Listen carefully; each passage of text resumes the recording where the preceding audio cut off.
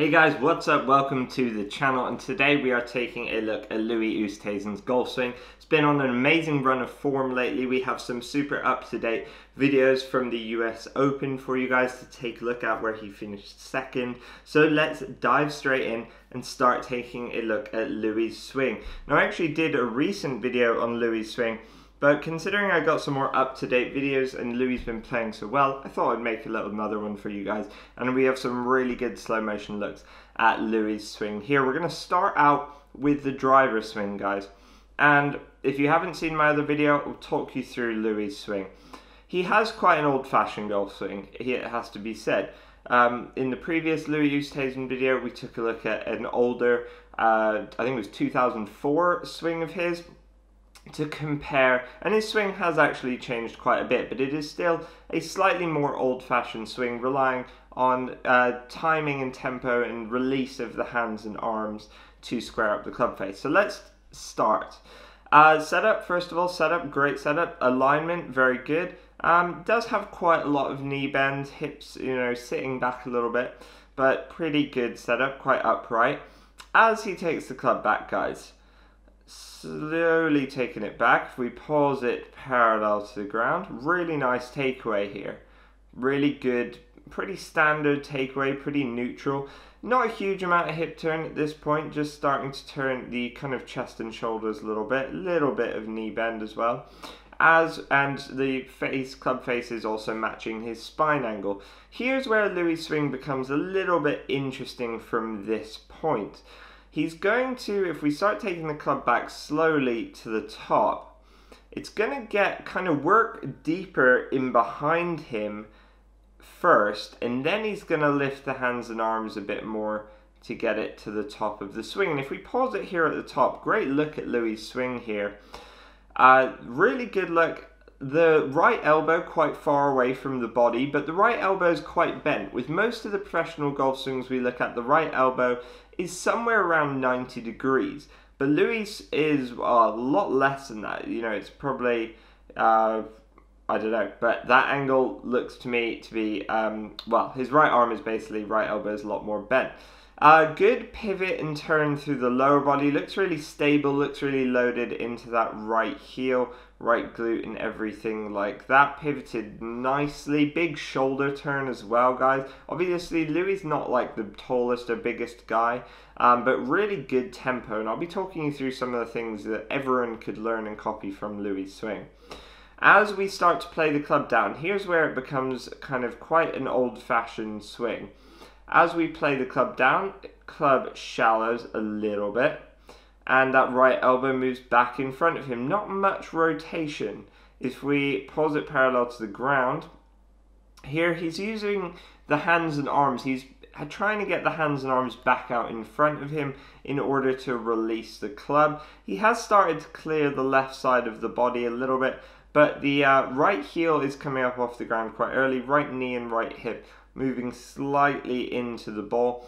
But he's actually done a very good job to get the club face square. Another thing to note in Louis' swing that his left hand grip is slightly strong. This is quite similar to a lot of tour players we look at and talk about, where Louis' uh, left hand grip is slightly strong. You can actually see from this position that it is because the back of his left hand is kind of pointing straight right at a 90 degree angle and the club face is slightly pointing down.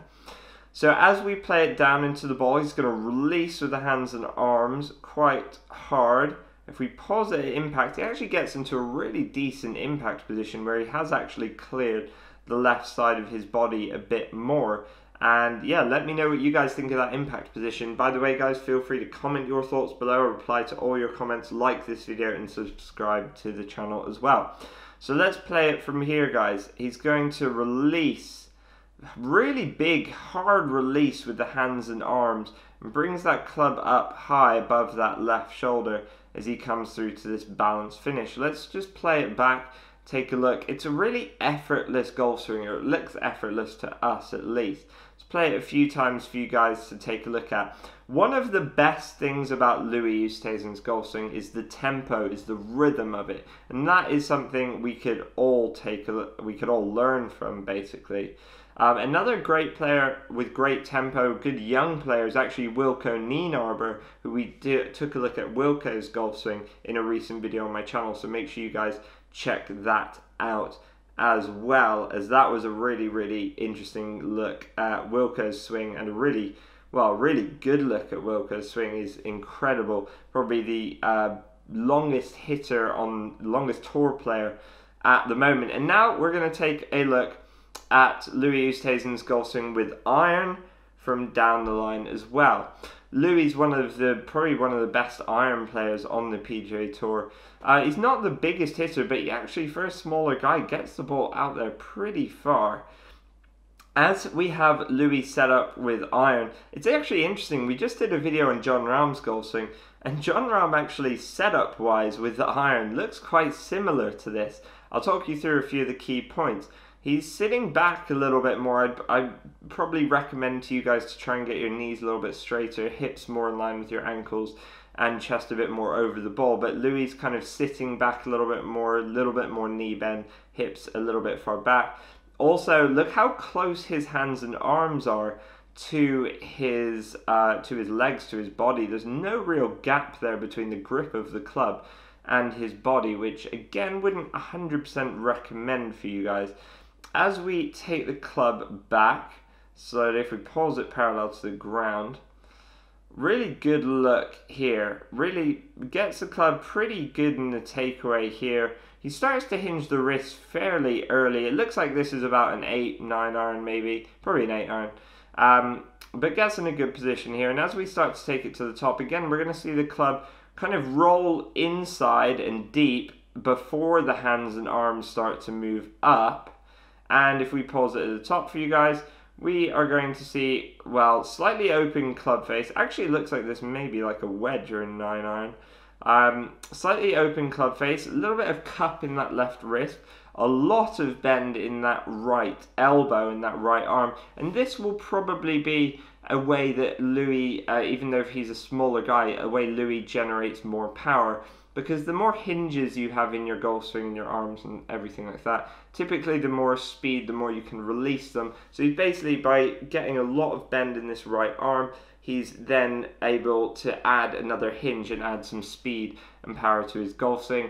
Uh, I would not recommend doing that for a few different reasons. I prefer uh, most players uh, like to keep a bit more width and keep the right arm a bit straighter at the top. I would recommend doing things that way for a few different reasons. Might make a separate video about that. But as we start to play down, we're going to notice, watch the hands. They really drop straight down to get that club working from the inside back out in front of him. And then he really has to release them hard. If we pause it at impact, we can see no real rotation in this swing with the shorter club. He's really, it's a very armsy swing. Really just releases the hands and arms down the line. Really interesting swing here. Let's play it back a few times and just take a look at this. It's very, very armsy, very handsy, but beautiful rhythm. And that's definitely something we could all learn from Louis Oosthuizen's golf swing. Absolutely incredible.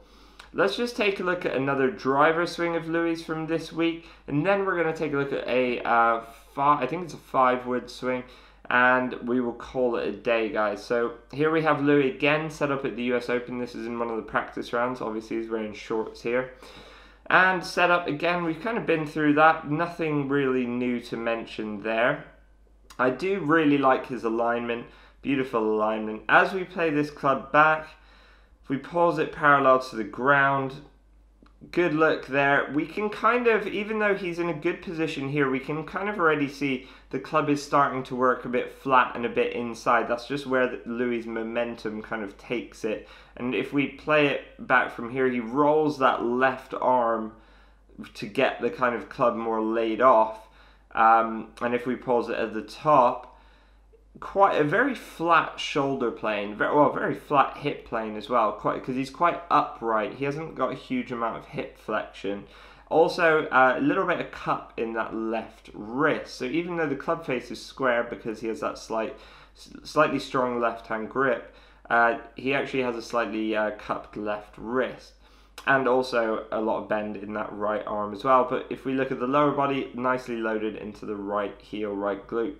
As we play this down, guys, Louis going to kind of shallow the club a little bit, but he's, he works quite upright on a um, quite vertical plane as he comes down. If we pause it parallel to the ground here, looks like Louis probably going to hit a fade from here. Um, that club a little bit more open than the previous driver swing we had a look at. Maybe he's just trying to hit more of a fade here. You can. It's a good look here how you can see the club is definitely that grip is definitely a few degrees strong because look at the back of his left wrist and look at the club face. Good indication there. As Louis swings down into the ball, it's releasing those arms really trying to get those arms back out in front of him, not get the club stuck behind him too much and paused here. It's a good look at Louis swing. Really nice um, position. Love how, you know, he actually gets a fairly decent amount of rotation with this particular swing, uh, getting the clearing the left side, clearing the left hip, the uh, left shoulder. There's a few things, you know. It I'd say in some ways it's a slightly older player's swing as well because he has a slightly more upright um, upright spine angle. It's not quite so over the ball, which means it probably will be putting less pressure on your back. And because he's also using his arms um, and hands a bit more to release the club, it will be putting a bit less pressure on his back. And he actually maintains his posture fairly well. As we play it through, big release, flips that club over to square it up as he comes through to that beautiful finish. Let's just play it through once or twice for you guys. And it is a really beautifully rhythmic swing. That's really the main thing I want you guys to focus on.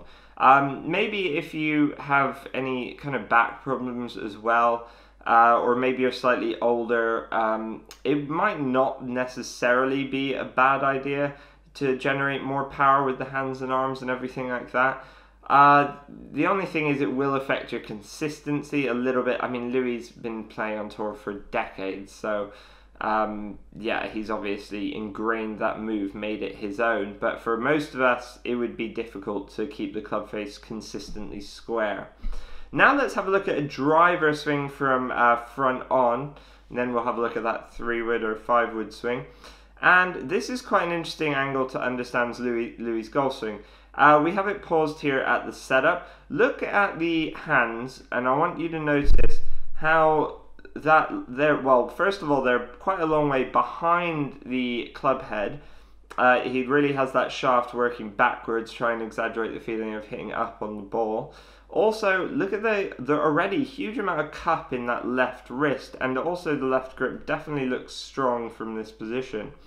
As we play the club back, watch this. He's actually before he even well, as he takes the club back, he shifts that weight really a lot of weight laterally onto that right side before he starts to rotate and turn into that right hip as he takes the club away. And if we pause it at the top, well, if we pause it actually, let's pause it just before the top.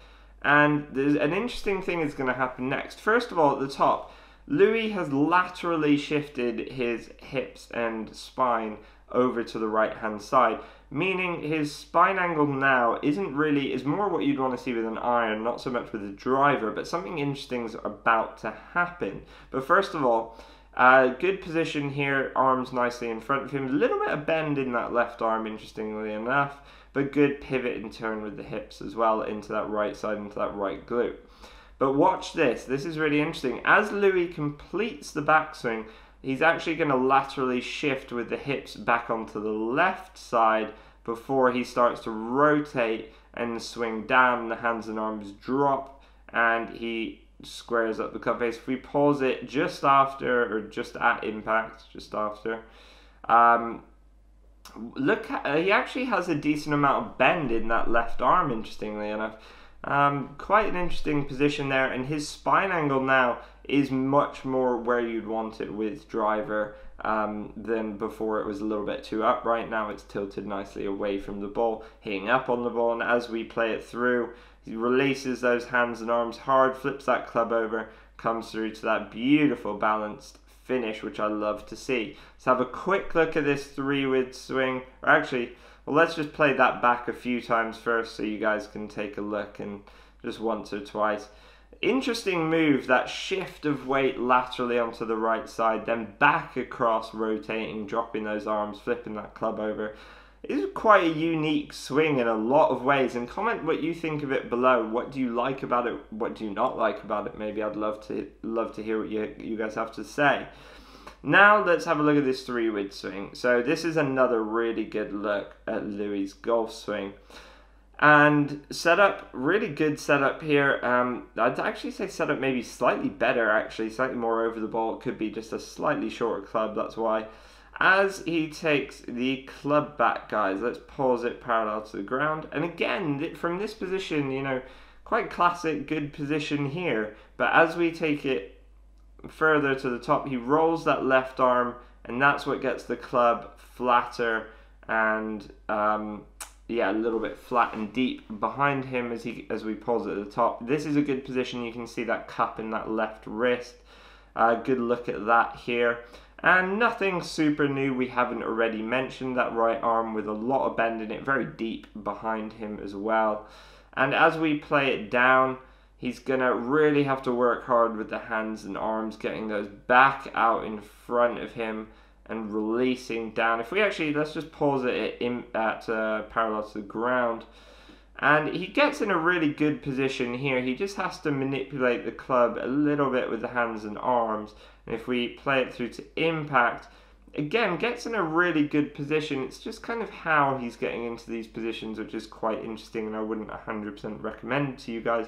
But he actually gets himself into some really nice positions not surprising considering he's such a good golfer and has been for such a long time.